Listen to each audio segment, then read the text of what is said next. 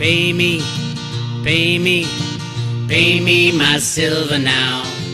Pay me or go to jail. Pay me my silver Good morning, now. good morning, Bix Weir. With your morning horn of Z's, your sip of chaga coffee. With my C60 gummy. Uh, time to get healthy. I know most of the country's frozen right now. Insane weather. Um, listen to me crying in California. Um, but I've been looking at the images of all the snow and freezing cold temperatures. Stay warm, my friends. Um, yeah. I had a great discussion last night on Palisades Gold Radio. Go check that out on, on Twitter. We talked about metals, mints, laws, premiums, and outlook. I uh, got a little of every perspective. It was great. It was a great discussion. Um, anybody who's invested in silver should read that, who doesn't uh, fully understand what's going on with the derivative market, with the mints, with the bullion banks. I mean, we went down every nook and cranny of the silver market. Um, it was good. It was really good discussion. Go check that out. All right. Where are we today? Is the COMEX still open? Yes, the COMEX is still open. So they're still rigging. Nothing changes. Silver won't be set free until um, the COMEX shuts down. The criminal organization that runs it and the criminals that are in it. There's no reason to have massive, massive silver futures and options that set the price of silver. Silver is a, a commodity. It's a scarce natural resource that should be traded on a free market, not a rigged market. So, um, yeah, I don't know what to tell you other than the banks are running from the COMEX, gold and silver. You can see it in the volumes even now. Look at the, uh, let me see here. Look at the volumes just crashing. I mean, not too long ago, we were up at, uh, you know, half a million, uh, half a billion ounces traded every day. These are banks trading back and forth to each other, mostly run through uh, Virtu Financial high frequency trading company that controls this shit um, with the with the banks. The CFTC claims they have no idea what's going on. They're lying. Um, but hey, this is what it is. Look at uh, yesterday. Only what was it? Uh, Thirty-seven thousand six hundred sixty contracts. So that's what eighteen hundred eighty million, something like that, around that neighborhood. Um, 180 million ounces of futures and options um, got traded, which is really low considering. And all the banks are leaving. All the banks are leaving because they. I think they've been told, "Get the hell out." Let we're going to let uh, gold and silver trade freely at some point, and we can't have uh, any of our banks going down because of their derivative position. So I think by the end of the year they'll all be pretty much out. Um, they're they're hiding it pretty good. I mean the the OCC helped uh, Bank of America hide their silver uh, 1.2 billion ounce silver lease position. We believe it's a lease um, because now they have this huge gold position. It's probably neutral. That I mean, it, great job covering up. Congratulations, OCC. Way to cover up data and, and not let anybody see what's really going on. But that's the way our market works. Really interesting. Somebody, somebody um, actually delivered 336 uh, contracts which is what uh, 1.5 yeah about 1 point, 1.8 million ounces. Wait uh, 1.65 million ounces. 1 1,650,000 ounces right around there. Um, why did they wait till the 20th of december? Because they didn't have the metal so we can we could say hey who doesn't have the metal who doesn't have the who didn't have the metal at the beginning of december um, it's actually one of the largest um, deliverer deliverers of this month. So it's right here, BMO Capital, Bank of Montreal. Uh, just another bank. They probably got suckered into some crazy derivative with Bank of America and had to pay Bank of America back because uh, B of A took 118 of those contracts. Overall, if you look at the BMO Capital, Bank of Montreal Capital, it's they're trading for their house account. This month is brutal for them. I mean, they've had to deliver over 5 million ounces of silver. They're not used to that. Look at their, I mean, they barely have done anything. And they, and yet now they have to, at the worst possible time, deliver one over 5 million ounces of silver. And I bet you they're part of the, the remaining, how much is remaining here? Uh, 727, so 3.5 million ounces. BMO, hey, What? Why are you playing with these guys? Why did you write this deal with Bank of America that came due by the end of the month? Um, I think they can find the three million ounces, three point five million ounces if it's them. It'll be interesting to see if it if it really is them. I mean, it might just be an anomaly. It's not an anomaly. They owed this amount, over five million ounces from a a non silver type of bank. Did they structure it with crazy derivatives that go back to J.P. Morgan or back to B of A, and and it's a complete circle blank between the banks? Could be, could be a lot of things. Um, as a matter of fact, let's see if BMO was planting gold because usually they'll offset their silver losses with gold wins, is the way the banks do it. BMO Capital, uh, let's find gold, silver and gold. I never look at gold futures. Platinum, palladium, micro gold. I don't want micro gold. Copper, copper copper, copper. Here, there, COMEX gold futures. Look for BMO, BMO. Look for any anomalies to see if they're offsetting it. RBC. Man, JP Morgan is massively in the middle of this gold stuff.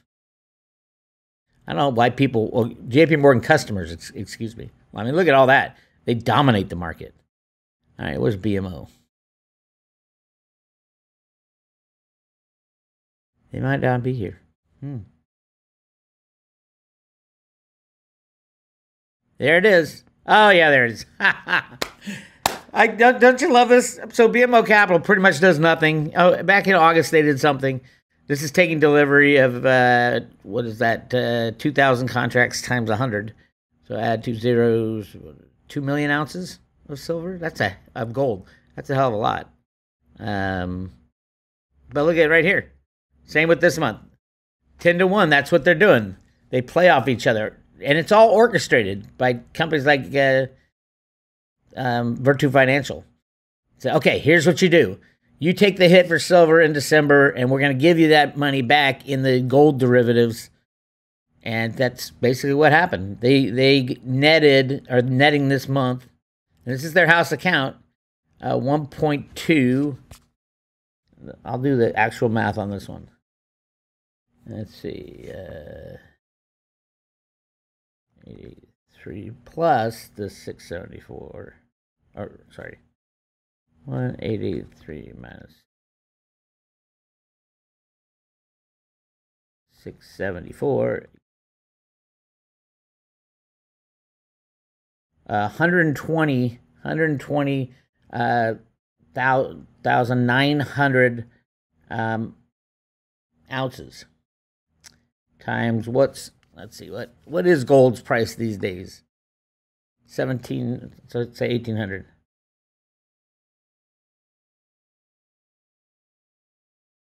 $127 million worth of gold they took delivery of net for December. That's how the game is played. It's a ridiculous game, but that's how it's played.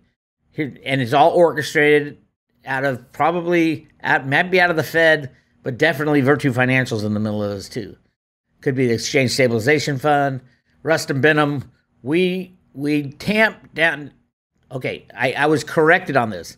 He didn't say we. The market structure tamped down the price, and that's illegal as well. It is illegal for futures and options to determine price. There should be a price taker and he just exposed the head of the CFTC just exposed that the way that futures and options work is that you can rig the price. Thank God silver didn't go over $30. What does that mean? All the banks went short when they were told to go short. It's pathetic.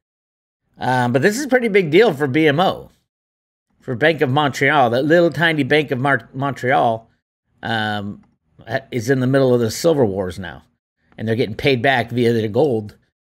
the whole thing's a joke. It's just ridiculous. So I'll I'll be interested to see if they keep having to deliver, and if it is BMO that has to deliver all of that. I'm sure they're freaking out right now because they can't find the, the silver. Otherwise, they would have they would have paid up at the beginning of the month. So we're gonna watch that one.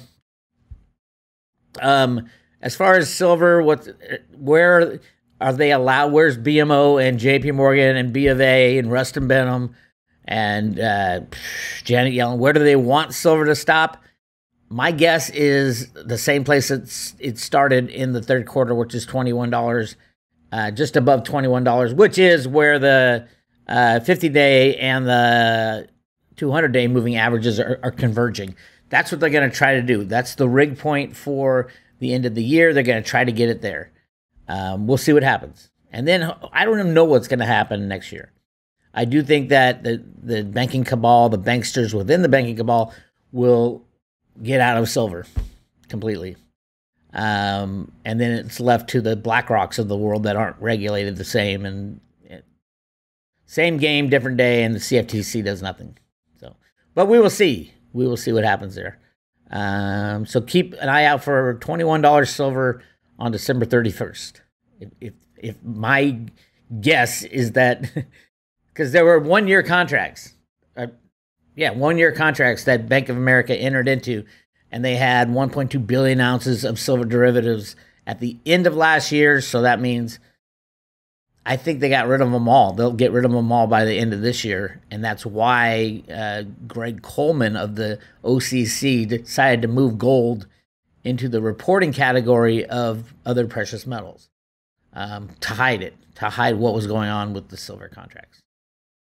It's, they're not that hard to read. It's just ridiculous that we have to go through all these bullshit to price the what to know what the price of silver is.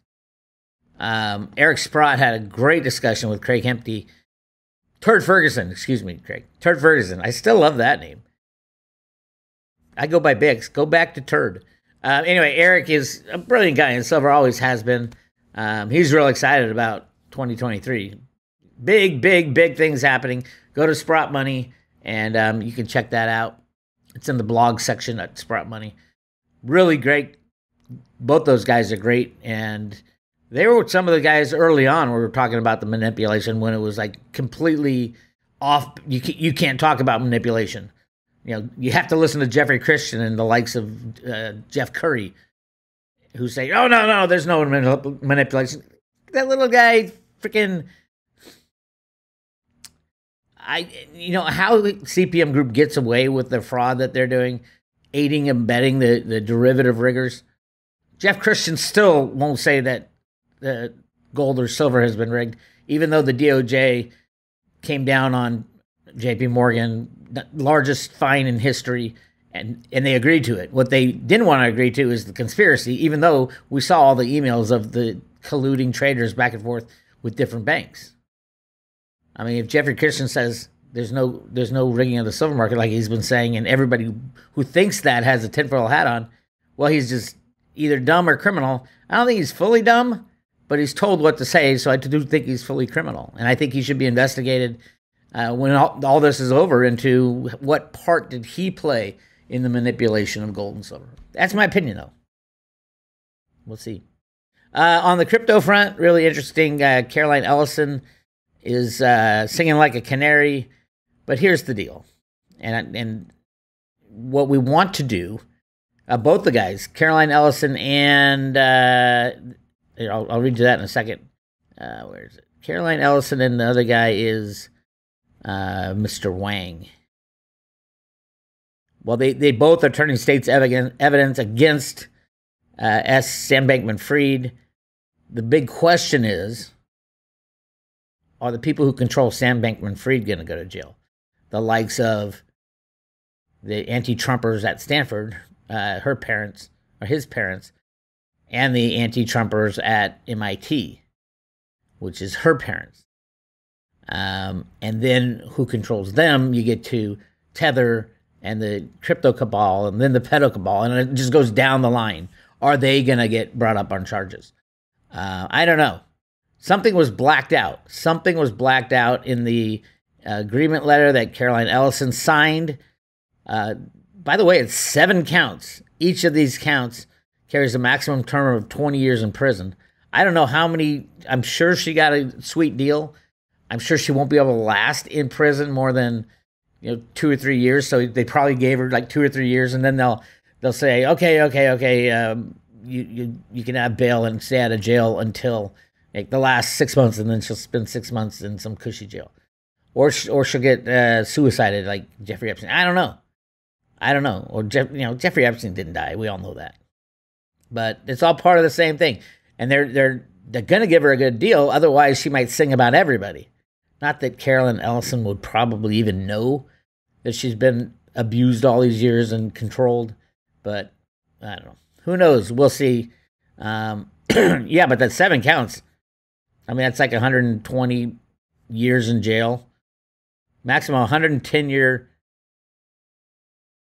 110 years imprisonment, and she'll get a couple years. It's just, I mean, they don't need it. They don't need her to turn state's evidence to nail Sam Bankman Fried. Nobody needs that unless she's turning state's evidence about other people involved behind the scenes, um, especially what went on with Tether and the $38 billion worth of Tether that they got for free. They didn't put up collateral of 38 billion, obviously. Um, you know, they're supposed to buy that Tether, and they didn't. It was given to them. It was created from thin air by Tether and then given to them. And then, so when they gave it back, there should be plenty of uh, paper trail of Tether giving back the $38 billion. So there should be $38 billion in FTX or Alameda if they had that much Tether legitimately. And that's gone. Maybe they, they gambled it away because their, their, their brilliant trading programs didn't quite work so brilliantly. I don't know. I don't know. Or it's hiding in a, a crypto wallet somewhere you know, in Sam Bankman Fried's family account somewhere. Who knows? But good thing we have CFTC boots on the ground at the subsidiary LedgerX. I mean, I've talked about Kristen Johnson many times. She's basically a JP Morgan implant at the CFTC, another one. Um, the CFTC is not here to protect you. CFTC is here to run cover for the cabal. And that's exactly what they're doing. So, boots on the ground, that just cracks me up. Um, and they're saying that uh, Ledger X, which is the derivative trading arm of um, of uh, Sam Bankman Fried and FTX, supposedly, they, they're saying that's okay. Why? Because there's no real assets in a derivative uh, exchange. You're just trading literally back and forth, longs and shorts you don't need real assets. Whereas FTX, the exchange, you need real assets. Um, so I don't know what's going on with Ledger X. supposedly it's all frozen. That means some of the bad guys have a lot of money probably in shorting some of these stocks, and they don't want to lose that money. They want like uh, probably I would say Tether has a whole bunch of um, shorts that are going to pay off, so they don't want to get rid of Ledger X because that's they're winners. They want to get rid of the losers so it doesn't look that, like it's their fault. And the whole thing's screwed. Anyway, that's what's going on. This is BixRoadToRoad.com. If you want to join the private road, just click on subscribe today and we will send you the coolest silver coin ever made in the history of the world. The Roota Lives coin with the hand painted red heart. Um, love this coin. Anyway, go check it out. I think I'll play a song today. I attached my Santa song the other day. I'll, ta- I'll attach it at the end of this. It's a classic goes way back. Hope you guys enjoy and have a Merry Christmas.